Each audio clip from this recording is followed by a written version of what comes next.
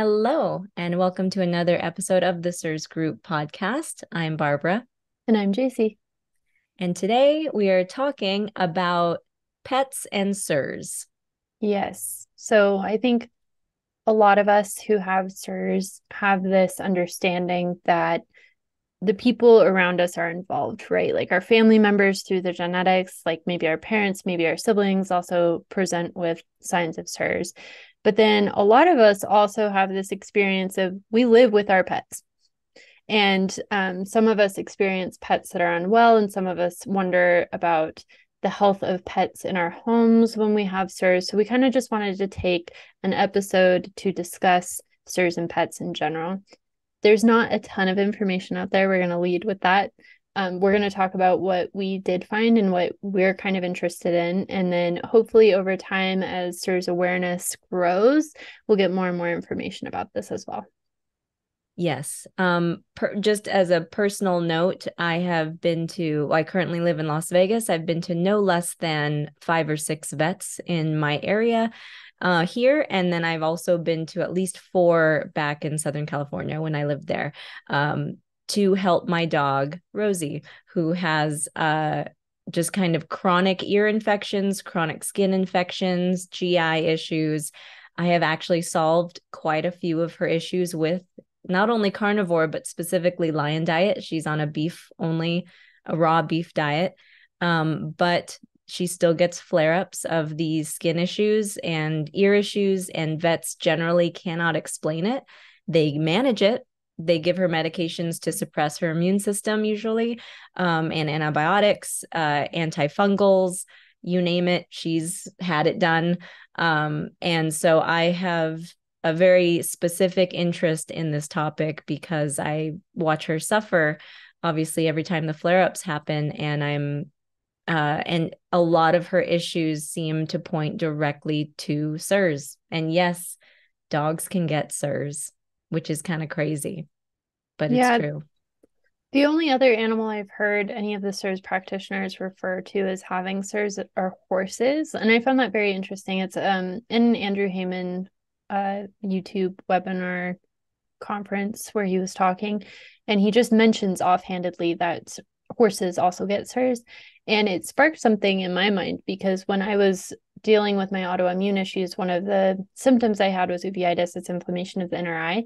And it turns out horses get them get uveitis like all the time. Like it's just systemic in horses. It's really dangerous because it can actually blind the horses over time. Mm. And so I was looking into like the supplements they're giving horses to get rid of uveitis because I wanted to get rid of mine.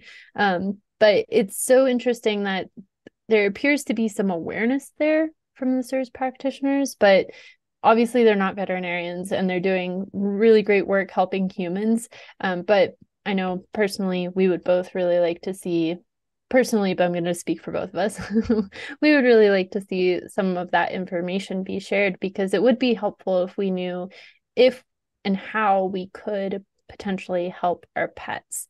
And I think this is a really good transition into talking about the really interesting information you found about staph. Yeah, and specifically the thing that that CIRS practitioners are usually focused on and will help you with with your dog um, in this case is staph specifically or MARCoNS which is um, antibiotic resistant staph basically. So there is a study that was done in 2007 um, on 830 dogs and 736 owners. Um, there were a few interesting takeaways from that study that I, of course, dug into because I thought, oh, staph and dogs, this must be CIRS related in some capacity, which I think it kind of was. So, first of all, they did test, I want to say about 30 dogs that were just stray dogs. And the way they got them was there's some humane society that would go and grab stray dogs to spay or neuter them. So while they were they had them in their care, they were able to do a nasal swab um, and also a skin culture to test for staph. None of the stray dogs had staph.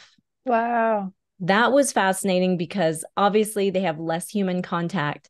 And it's sad because now it seems that humans are actually giving it to their dogs rather than the other way around. Not to say the dog doesn't then give it back to the human. And that's why CIRS practitioners are uh, do have some concern about dogs in the house um, when they're treating a, a patient for CIRS. Um, and just be- to note there, uh, the reason why that's important is because clearing MARCoNS, most CIRS people have MARCoNS. And so clearing MARCoNS is one of the early steps in the Shoemaker protocol. And the Shoemaker protocol is the clinically proven path to healing from CIRS. Thank you for that. Yeah, absolutely. Perfect point. Um, a couple other takeaways from the study is that dogs that were female and also dogs that had more access to the bedroom tended to have a higher instance of having staph uh, colonized in their nose or or on their skin. So that makes sense in regards to actinos. Um, that's where, uh, well, not the dogs being female. That part no one can explain why the female dogs are more likely to have staph uh, or and uh, or MARCoNS. But um, when the dogs have access to your bedroom, that's probably the biggest place that we as humans shed actinos from ourselves. It's going to be on the bed, on the mattress, on the the bedding, all that stuff. You're just around in the room. So if your dog is sleeping in your bedroom with you, it's a higher chance that your dog can get staph from you, basically. Seems like. And just a note on actinos actinos or actinomycetes are the bacteria that are attracted to mold. Um, so it's part of the chemical soup that is present in a water damaged building. Typically, people will do like an ERMI HERTSMI to test for mold. They'll do an endotoxin score to test for those biotoxins, and then they'll do an actinos test um, in order to see if actinos are in your environment. This is actually a hot topic right now in CIRS. They're finding more and more through the Genie, which is the genetic test that helps you understand which biotoxin you might be reacting to.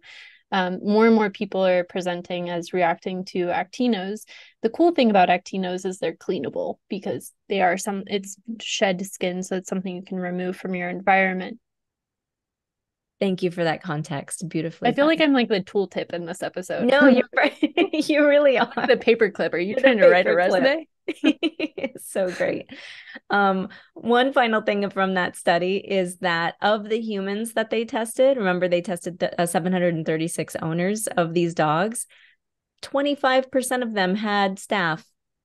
Hmm, isn't that a familiar percentage of 25% of the population is has the genetics for CIRS or chronic inflammatory response syndrome. So obviously they were not testing for CIRS, but they were testing for staph.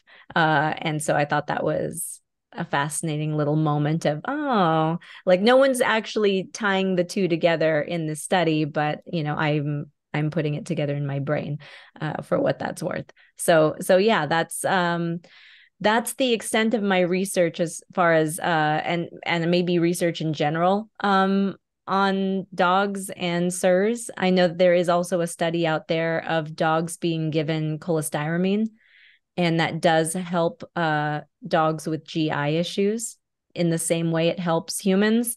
Um, of course, there's no um, you're probably not going to find a vet that knows how to administer that. And that's where it sucks. And you're either on your own or you might be able to talk with some other people in the community or maybe even some CIRS doctors that have treated kind of risked things to treat their own dogs however they could and they probably have stories of how they did it um, but that is that is something that uh, i am looking at and trying to figure out for myself so of course as i learn more and hopefully watch my dog heal uh, I will certainly share whatever I learn.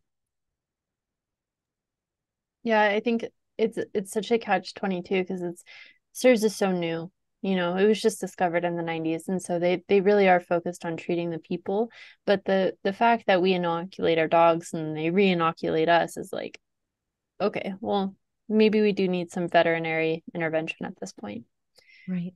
And the last point we kind of wanted to talk about is circling back to actinos. Um, so actinos can grow on human skin, but the, it can also grow on animal skin.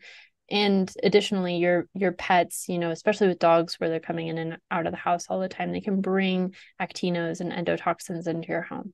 And so I'm not saying that it's impossible to live with pets and have CIRS. I would say most of the people in the CIRS group have pets.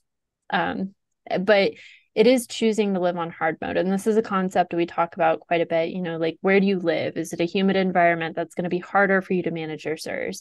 Um, do you have a lot of possessions that's going to be harder for you to manage actinos? And this is just another one of those things where this is choosing to live on hard mode. I would argue it's the best hard mode ever. His dogs are the best. But it is a choice. Yeah. Yeah and uh and that choice can include um cleaning their feet every time they walk somewhere where you think they've picked up endotoxins, a dog park or a park where lots of dogs are or dog poop is, all that fun stuff. Um, you know, bathing them regularly, uh, brushing them outside, uh, and and getting them groomed professionally. There's a lot of different directions you can go um, to try to protect yourself. Not letting them on the bed or in the bedroom I don't know if I'm ready to go that far, but that's another option. I know some quite a few people do. Uh, you know, they don't let their dogs in the bedroom um or they um please don't keep your dogs outside. I mean, that's not especially if you live in like I don't know, at least half of the friggin' world, it's not cool to leave your dog outside. Uh literally, it's too hot. But um hey. dog abuse. Yeah. yeah, yeah.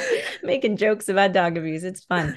Um, yeah, just I think there's just little choices that you can make um, you know, to keep things as clean as possible. Um it's just we all just got to do our best. But man, I love my dogs more than anything. And they are used to coming into the bedroom. So I don't know that I will be changing that behavior. But that's that's for me to figure out. if you are interested in more resources and support on your CIRS journey, if you want to follow along Barbara's journey of treating Miss Rosie Cotton, um, you can join us over at thecirsgroup.com. If you want to like, comment, subscribe on this podcast, we truly appreciate it. And we'll see you all in the next episode. Yep. See you then.